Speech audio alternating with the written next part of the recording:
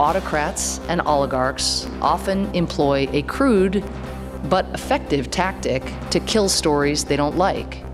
They sue reporters until those reporters abandon stories or go out of business.